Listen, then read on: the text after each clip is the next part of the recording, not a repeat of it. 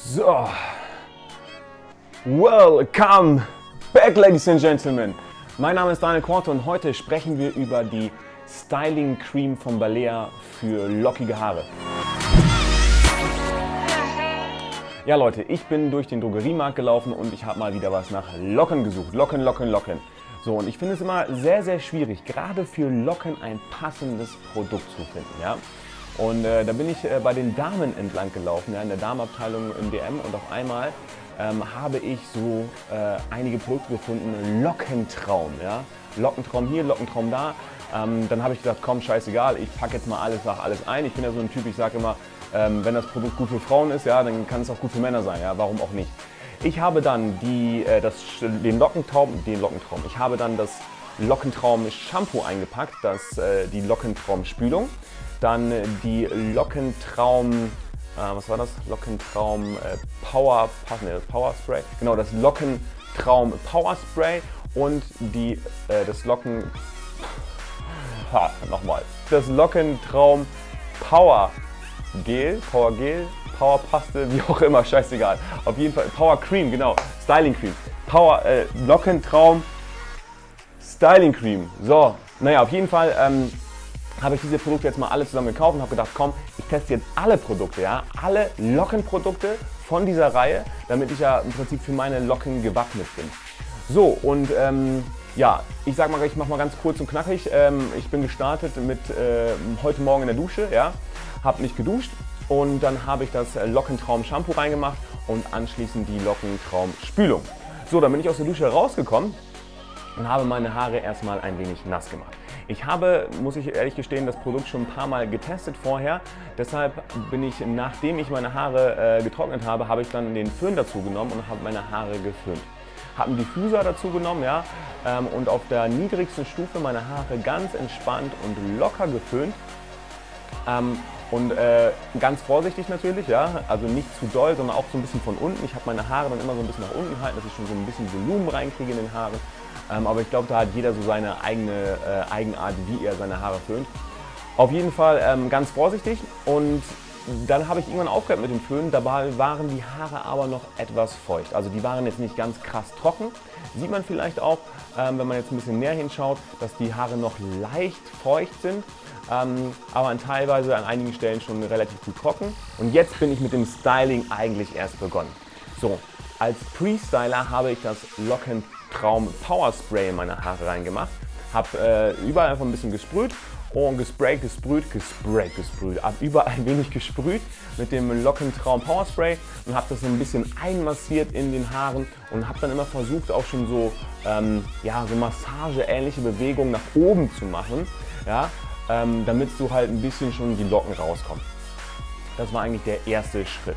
Im zweiten Schritt von dem Styling habe ich dann die Styling Cream genommen und äh, da muss man erstmal aufpassen, die Hälfte fliegt dann erstmal weg, wenn man es auf die Hände macht, ähm, weil da so ein Druck hinter ist. Auf jeden Fall habe ich dann so, ja, so gefühlt beide Hände voll ähm, von der Styling Cream, habe das schön verteilt und wenn man es in den Händen verteilt, dann merkt man schon, dass es sehr, sehr wässrig ist, diese Styling Cream. Ähm, habe dann alles ausführlich in meinen Haaren verteilt, die Styling Cream. Und dann habe ich sogar noch ein bisschen nochmal nachgelegt mit ein bisschen mehr Styling Cream, weil ich das Gefühl hatte, es war noch nicht genug. So, und dann habe ich versucht zu stylen, zu stylen und zu stylen. So, aber es ist halt wirklich extrem schwer. Wenn du ein Produkt hast, das sehr viel Wasser beinhaltet, dann kannst du deine Haare kaum in Position bringen. Ja, ich meine, das Produkt kommt schön in die Haare rein, man kann es auch super schön verteilen, aber wenn man die Locken dann herausarbeitet, ähm, dann fallen die halt immer wieder runter, weil es halt zu feucht ist. Ja? Und das wusste ich halt schon vorab, dass das Produkt sehr feucht ist. Aus dem Grund habe ich auch meine Haare geföhnt, sonst hätte ich meine Haare gar nicht geföhnt. So, und äh, das ist halt echt sehr, sehr schwierig. Und ihr seht auch jetzt schon, meine Haare habe ich immer noch so und die lassen auch jetzt schon ein bisschen nach. Ähm, ja gut, dann habe ich versucht, meine Haare zu stylen und zu stylen und zu stylen und ich muss sagen, das dauert halt, ja. Das dauert wirklich ein Weilchen, bis du mit dieser Styling Cream deine Haare ansatzweise so hingebogen hast, ja, dass sie halt lockig, natürlich, gut aussehen. Ähm, und ich muss sagen, ich habe es einfach nicht hingekriegt. Ja. Ich habe es nicht hingekriegt. Nur mit der Styling Cream könnt ihr vergessen. Ja? Ähm, das packt, also es geht einfach nicht. Die Locken fallen immer wieder runter, die Haare fallen immer wieder runter, weil die Haare zu schwer sind aufgrund des Wassers. Ähm, der Wassergehalt ist wirklich extrem, für mich gefühlt sehr, sehr hoch. Ähm, und die Locke fällt immer wieder runter und sie fällt immer wieder runter und du versuchst sie immer wieder hochzumachen und sie fällt immer wieder runter. Ja? Aber das nervt auch wie Sau. Und dann habe ich ähm, halt folgendes gemacht, dann habe ich ähm, mir ein bisschen Sprühkleber genommen und habe den Sprühkleber in meine Finger gesprayt und habe dann halt versucht, meine Locken dementsprechend halt so zu formen und so hinzubiegen, dass sie nicht mehr runterfallen, sondern dass sie oben bleiben. Und ähm, ja, dann versucht man halt so ein bisschen seine Haare in Form zu kriegen und ja, bei Locken dauert das natürlich immer viel, viel länger als bei glatten Haaren, ist ja gar keine Frage. Auf jeden Fall ähm, hat das echt ein Weilchen gedauert und irgendwann habe ich dann die Locken auch komplett mit dem Sprühkleber eingesprayt und als ich dann alles eingesprayt hatte, Elmo, nein, nein. Ey, ihr glaubt nicht, was hier gerade passiert. Elmo, Elmo, nein, du kannst doch nicht in... Elmo. Mein kleiner süßer Hund, der war, der wollte eh nicht mitkommen, der, der wollte nicht oben bleiben. Und jetzt macht er hier den Hintergrund kaputt. Elmo, das darfst du nicht. Du darfst den Hintergrund nicht kaputt machen. Okay? Hm, mein Schatz? Also er hat fast die gleiche Frisur wie ich heute. so, jetzt bleibst du mal hier. So, den Sprühkleber, den habe ich dann auch überall in meine Haare verteilt und dann halt versucht, die Haare halt auch hoch zu bekommen. Also eine gewissen, nicht nur die Form zu bekommen, sondern auch die Haare ein bisschen nach oben zu bekommen, weil die Haare immer runterfallen, weil das Produkt einfach zu feucht ist. So, also ich fand es generell sehr schwierig, mit dem Produkt meine Haare zu stylen, aber gut. Ich würde vorschlagen, wir gehen jetzt direkt weiter zum Rating und dann sage ich euch, wie ich das Produkt am Ende des Tages bewerte. So, starten wir mit dem Geruch des Produktes. Ja Leute, ähm, ich würde gleich sagen, das äh, Produkt hat keinen Geruch, ja. Es riecht halt neutral, würde ich sagen, ja. Äh, es riecht irgendwie ein bisschen nach Haarspray vielleicht, ja, ganz minimal. Aber ja, lass uns mal vielleicht einen Punkt geben für den Geruch. Ähm, also es ist echt nicht, äh, nicht gut. Was machst du denn jetzt hier? Chill, mein Freund. Elmo, chill. So, kommen wir zur Anwendung des Produktes. Also das Produkt lässt sich auf jeden Fall sehr, sehr gut in den Haaren verteilen. Ja?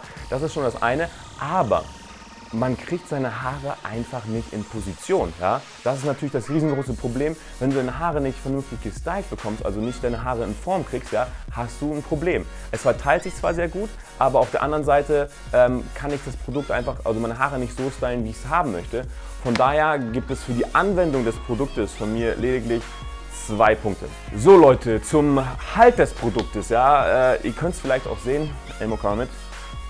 Ihr könnt es vielleicht sehen. Hm, also an einigen Seiten hier, da hört es schon wieder auf zu halten. Da lockert es schon auf. Ähm, ich habe heute Morgen das, äh, meine Haare mit dem Produkt gestylt. Ja, ich sollte Elmos Haare auch nochmal mit stylen. Elmo, willst du mal kurz Hallo sagen? Hallo liebe Leute, ich bin Elmo. Wenn ihr mehr von dem sehen wollt, ja, dann müsst ihr mal meinen Instagram-Account abchecken. ähm, auf jeden Fall, ähm, der Halt von dem Produkt, muss ich sagen, ist echt nicht gut. Ähm, trotz des Sprühklebers ja, habe ich das Gefühl, dass der Halt an einigen Stellen nachlässt. Ähm, ich bin, ich bin auch immer sehr, sehr vorsichtig, wenn ich meine Haare gestylt habe, dass ich halt nirgends mehr drankomme. Aber nichtsdestotrotz finde ich den Halt des Produktes echt nicht gut. Gibt es von mir nur ein von fünf Punkten. So, ähm, jetzt kommen wir zur Auswaschbarkeit des Produktes. Ja, da das äh, Produkt äh, sehr wasserbasiert ist, ist die Auswaschbarkeit des Produktes natürlich relativ easy. Ja? Und äh, da gibt es von mir 5 von 5 Punkten. Trotz Sprühkleber an den Haaren kann man das Produkt wirklich komplett auswaschen. Also einfach nur mit Wasser drüber und das Produkt ist aus den Haaren raus und äh, löst sich auch einwandfrei aus den Haaren. Also da gibt es auf jeden Fall 5 von 5 Punkte. Kommen wir jetzt zum Preis. Ich denke mal vom Preis-Leistungs-Verhältnis also ich finde das Produkt einfach von der Qualität her nicht gut. Ähm, vom Preis her gut, im Drogeriemarkt sind die meisten Produkte relativ günstig. Ähm, aber all in all, vom Preis her, ich weiß nicht, wie teuer es jetzt ganz genau ist, ich habe es jetzt nicht mehr im Kopf, aber ich würde mal so ungefähr sagen, zwei bis drei Punkte für den Preis. All in all kommen wir beim Balea Lockentraum zu einem Total Ranking von 12 von 25 Punkten. Also noch nicht mal die Hälfte der Punktzahl ähm, für das Produkt, was ich hier vergeben kann. Von daher muss ich sagen, ähm, ich würde das Produkt nicht nochmal kaufen. Ich würde es auch nicht weiterempfehlen. Es sei denn, du möchtest einen sehr, sehr natürlichen Look haben und deine Haare stehen auch so schon ja, ähm, sehr gut und äh, ja, haben halt schon guten Halt. Aber wenn du deine Haare mit einem Produkt wirklich in Form bringen möchtest, kann ich das Produkt leider nicht empfehlen. So Leute, ähm, ja, wenn ihr mehr Videos zum Thema lockige Haare haben möchtet, schreibt es in die Kommentare rein, weil ich glaube, das ist so eine Nische, da geht echt einiges ab und viele Leute haben viele Fragen, weil ich selber, ja, gehe auch in den Drogeriemarkt, will was Sachen, äh, will ähm, Produkte für Locken kaufen, aber da gibt es keine Produkte für Locken. Und ich denke mir so, ja shit, so was soll ich jetzt kaufen? Okay, jetzt bin ich halt in die, äh, in die Damenabteilung gegangen habe da halt was für meine Locken geholt, aber äh, bin ja nicht mehr glücklich geworden. Wie seht ihr das Ganze? Habt ihr gute Produkte für Locken? Wenn ja, gebt mal Bescheid äh, und schreibt es in die Kommentare runter. Wenn euch das Video gefallen hat, macht gerne einen Daumen nach oben. Und äh, ja, Elmo und ich sagen jetzt Adios, Adios, Amigos. Und was machst du da? Das hast der Hintergrund nicht einfach anknabbern. Hey, der Hintergrund Was ist da los? Was ist da los? Was ist da los? Hey, aufhören! Manchester. Manchester. Manchester. Manchester. Manchester. Manchester. Manchester.